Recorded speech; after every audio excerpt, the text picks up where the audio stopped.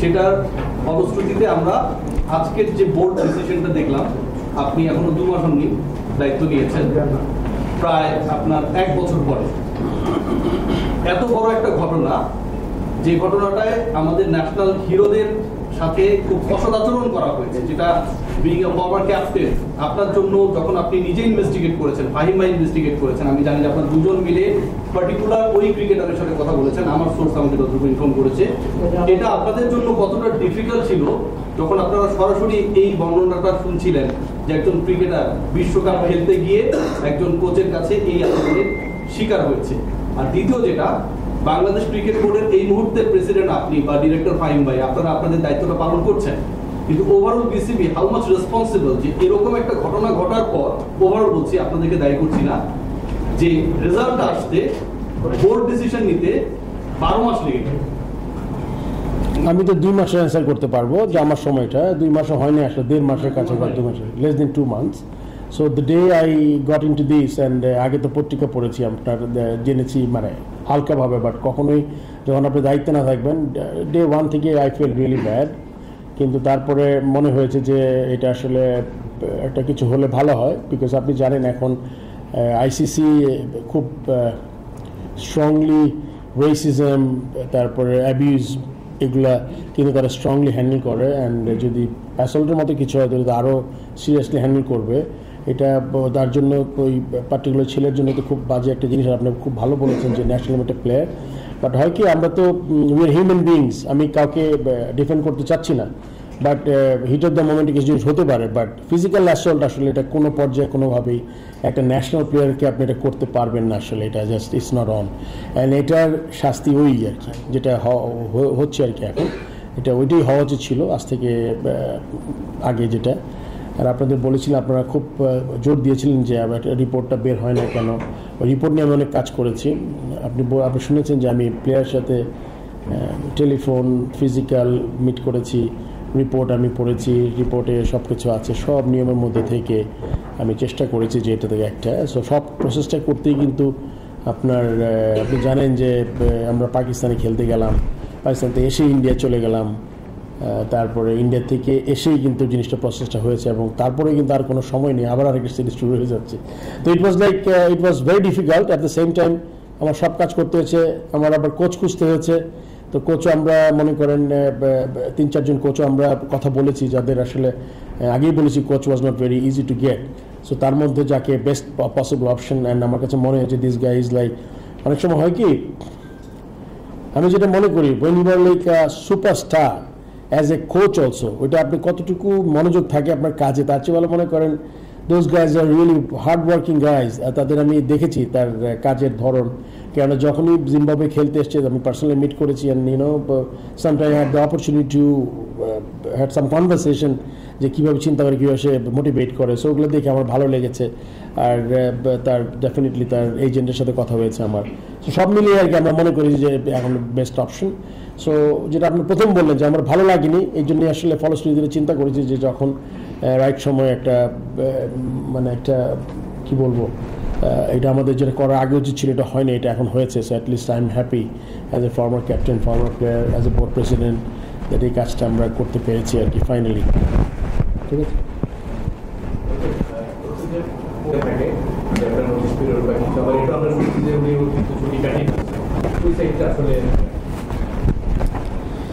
লম্বা হয়ে যাবে যাই হোক আমি তাও বলে দিচ্ছি অনেক কুইকলি এক্সপ্লেনেশন আসলে না মিসকন্ডাক্টে আমি প্রথম বলেছি you don't need to notify কিছু misconduct if you find something and he is out of it just because legal পয়েন্টে যেতে চেয়েছি সেজন্য হ্যাঁ সে যেই সময়টা কাটিয়েছে, ওইটা অতিরিক্ত তিন মাসের বেশি সময় কাটিয়েছে। ওইটা ওইটা কিন্তু পার্ট অফ মিসকন্ডাক্ট কিন্তু হ্যাঁ। আপনি বিচ্ছিন্নভাবে ইনফর্ম করেছেন একটা দুইটা মেইলে যে আমি একটু যেতে হবে বা কি but you know not for more than three months আচ্ছা সেটা একটা বিরাট ব্যাপার ছিল মিসকন্ডাক্টে বিকজ আমরা সবাই কিন্তু কিছু না কিছু জন্য অ্যাকাউন্টেবল যেটা হলে গিয়ে আমি বোর্ড প্রেসিডেন্ট অ্যাকাউন্টেবল কিন্তু I just can't do whatever I want to do so যেহেতু আমার চাকরি না বাট তারপর আমি কিন্তু আই শুড বি মানে অ্যাবাইডিং বাই সাম রুলস এটা একটি নর্মাল নর্ম তো ওইটাও কিছু ব্রিচ হয়েছে সিরিয়াস সো এটা আমরা নোটিফাই করেছি আর কি। লাইক ইন দ্যাট কেস দুটো জিনিস হয়েছে এখানে।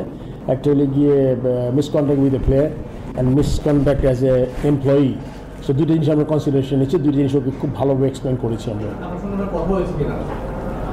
না আমার সাথে কথা হয় নাই। On my behalf my CEO has spoken to him and then তারপর মনে হ্যান্ড ওভার করেছে তাদের চিঠিটা সেটা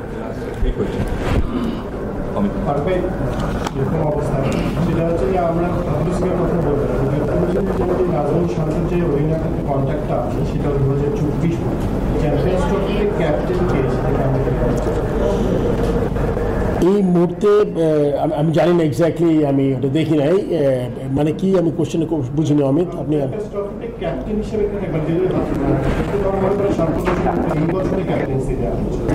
এইটা আসলে আমার দেখতে হবে বিকজ আমি আসলে অনেকগুলো কাজ একসাথে করতে হচ্ছে probably I did not go through এটা আমি যখনই যাব তখন করতে পারব। অনেক বলেছেন সরাসরি জানতে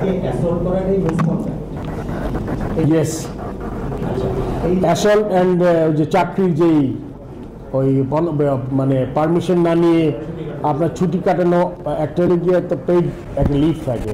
আনপেইড লিভও কিন্তু আপনি নোটিফাই করতে হবে বোর্ডকে এমন সময় এবং বোর্ডের প্রায় পারমিশন নিতে হয়। ওইটা, বিভিন্ন ক্ষেত্রে এটা হয় না আর কি এটা আমি ক্লিয়ার ছিলাম না, এটা clear করলাম। প্রশ্নটা যদি হচ্ছে যে, আগে থেকে কি এই- এই যে আমাদের যে আজকে আমি চাষ করব বলে যাচ্ছি, এর সঙ্গে টিম রেজাল্টের কোনো সম্পর্ক নেই মানে হচ্ছে কি এই ঘটনা যদি না ঘটতো, তাহলে আপনার সিলেক্ট কি আপনার দলের রেজাল্টের সাথে সাধারণত মনে করেন ইট ওয়াজ এ মিক্সচার অফ কি বলব আপনার মিক্সচার অফ পারফরমেন্স যেমন আমরা টেস্ট দুটো ভালো খেলেছি মাঝখানে দেড়শো টেস্ট জিতেছি আবার টি টোয়েন্টি ফিফটি ওভার্স ম্যাচে আমাদের যে সবচেয়ে স্ট্রেংথের জায়গাটা ভালো করিনি। সো এটা কিন্তু you you have to accept like you know ভালো খেলছেন খারাপ খেলছেন মিলিয়ে। So it was like it was an issue that yeah আপনি তো যখন দায়িত্ব নেন, তার আগেও যেভাবে বলছিলেন যে হাতুর ছেলেকে ব্যক্তিগতভাবে আপনি পছন্দ করেন না। এবং এই মঞ্চে বসেই আপনি বলেছিলেন তাকে আপনি ব্যক্তিগতভাবে পছন্দ করেন না। ব্যক্তিগতভাবে পছন্দ করি না, এই কথাটা আমি আসলে ওইভাবে বলি না আমি। আমি বলেছি যে হাতুরার খুব বেশি দেওয়ার কিছু নাই। ওটা বলেছিলাম অ্যাজ এ প্লেয়ার ওইটা আমার যে মেধা ছিল, যে মেধা আমি একটা প্লেয়ার একটা কোচকে যতটুকু আমি অ্যাসেস করি, যে ওই কোচটা কতটুকু দিতে পারে, ওই লিগে প্লেয়ার হিসাবে। ওটা কিন্তু একটা মানুষের যে you are not good looking or you are very you are handsome এটা দুটো দুই রকম পছন্দ অপছন্দের ব্যাপার নাই। অ্যাজ এ কোচ প্রবাবলি ওর যে অ্যাবিলিটি ওইটাতে আমি আসলে খুব বেশি খুব ইয়ে ছিলাম না আমার কোশ্চেনটা শেষ হয়। সেটা হলো যে এই জায়গায় তার সাথে আপনার দুই হাজার পনেরো সালের একটা বিরোধ তৈরি হয়েছিল এই ইয়েকে বিরোধটা আমি আসলে এক্স্যাক্টলি মনে করতে পারছি না ইফ ইউ ক্যান এক্সপ্লেন উনি অস্ট্রেলিয়াতে যে ব্রিফিং করেছিলেন সেই ব্রিফিং তাইজুলকে দলে নেওয়া নিয়ে একটা না না এটা ভুল ইউ রং তাই জন্য এখানে ছিল লিগে একটা লেগ স্পিনার ছিল। মানে ব্যক্তিগত কারণে এখানে ইনফ্লুয়েন্স করে না শুনেন। সবসময় মনে রাখতে হবে when you are when in charge এখানে লেটস এ একটা ছোট্ট উদাহরণ দিই। If you are chief selector if you have a problem with someone এটা যদি আপনার সিলেকশনে চলে আসে যেটা আমি বারবার বলি লাইকিংস ডিস লাইকিংস সবসময় একটা দলকে খুব বড় হ্যাম্পার করে। আপনি যদি আপনার প্রফেশনাল সাইড থেকে কাজ করেন, আপনার কিন্তু তখন লাইকিং ডিসলাইকিংটা পিছনে যাবে। আপনি তখন চিন্তা করবেন কি, বাংলাদেশ ক্রিকেট টিম বাংলাদেশ দল ওটা প্লেয়ারের নাম কিছু না। হ্যাঁ কোনো প্লেয়ার যদি পার্টিকুলার কোনো টিমে যদি টিম এনভায়রনমেন্টে খারাপ কাজ করছে ওটা ডিফারেন্ট কিন্তু আমি, আমাকে ব্যক্তিগত পছন্দ পর্যন্ত এখানে জিরো এফেক্ট করেছে। ওকে লাস্ট কোয়েশ্চেন সুমিত দুটো করি আর কি এক নম্বর হচ্ছে যে ফিজিক্যালি অ্যাসল্টের কথা উঠছে হ্যাঁ? এখন পর্যন্ত আমরা অফিসিয়ালি প্লেয়ারটার নাম জানি না নাম্বার ওয়ান নাম্বার টু হচ্ছে যে আপনি বলছেন যে আপনি তদন্ত যে আগের কমিটি যে আগের বোর্ড যে তদন্ত রিপোর্টটা করে দিয়েছিল আপনি কি সেটার ভিত্তিতেই তদন্ত শুরু করেছিলেন কিনা? আগের বোর্ড প্রেসিডেন্ট বলেছিলেন যে ওটার মধ্যে কিছুই নেই এ জাতীয় কিছুই নেই। এটা যদি একটু ক্লিয়ার করেন। মানে এটা আসলে let's not talk about this assault মানে মিসকন্ডাক্ট অ্যান্ড বারবার একটা ছেলে যদি ওই ছেলেটাও মানে ইজ নট ভেরি কমফোর্টেবল আপনি মনে করবেন যে এটা, যেটা রিয়াসিন খুব ভালো একটা কোয়েশ্চেন করেছে যে আপনার এটা কেমন লেগেছে অ্যাজ এ প্লেয়ার আপনার। ওটা কিন্তু খুব খারাপ লেগেছে, আমি বলেছি যে এর- এরকম ঘটনা খুবই অনভিপ্রেত অ্যান্ড এটা হওয়া উচিত না বিকজ ইউর ইউ শুড মানে to become a national player is a pride and uh, it's among 18 crore people that you know you become like probably 300 400,000 so এটা তো বিরাট একটা ব্যাপার। সেক্ষেত্রে আপনি মনে করেন এটা তো আমার খারাপ লেগেছে। কিন্তু ওই ওই নামটার আমরা না নিই। মিসকন্ডাক্ট দুটো মিসকন্ডাক্ট ওইটাতে থাকি। আর আরেকটা কোয়েশ্চেন লাস্ট তদন্ত পার্সোনালি করেছি। আমি একটু আগে বললাম আপনাকে আমি ভিকটিমের সাথে কথা বলেছি আইটনেসের সাথে কথা বলেছি আইটনেসের রিপোর্ট আছে। So it's like it was like সব কিছু পরিষ্কার করে তারপর আমরা ডিসিশন নিয়েছি। উল্লেখিত ছিল? ভাই একটা ভাই লাস্ট কোয়েশ্চেন হ্যাঁ। ভাই লাস্ট তিন বছরে তিনজন কোচ একদম আইসিসি ইভেন্টের তিন চার পাঁচ ছয় মাস আগে স্যাক্ট হয়েছেন যেমন যদি দুই হাজার বাইশ অস্ট্রেলিয়া টি টোয়েন্টি বিশ্বকাপের আগে ডমিঙ্গোকে সরিয়ে শ্রীধরন শ্রীরামকে নেওয়া হলো? এটা আমি ভুলে গেছি আমি কিছু মনে নেই আমার। এবার কি এটা বলেন আপনি? হ্যাঁ। ডমিঙ্গোকে আবার সরিয়ে হাতুরু সিং কে আনা হলো? এবার চ্যাম্পিয়ন্স ট্রফির পাঁচ ছয় মাস আগে আবার হাতুরুকে সরিয়ে ফিল আনা হলো। বারবার একটা বড় টুর্নামেন্ট আর টুর্নামেন্টের আগে যদি কোচ এভাবে এখনও ছয় মাস আছে অ্যান্ড এটা তিনটা তিন রকম কারণ ছিল।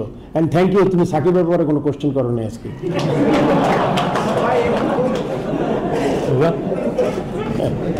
সবাইকে ধন্যবাদ।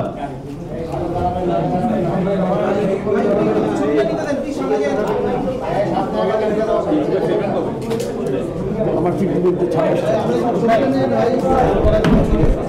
মেসেজ থাকি আমি অনেক ব্যস্ত থাকি আমি আস্তে আস্তে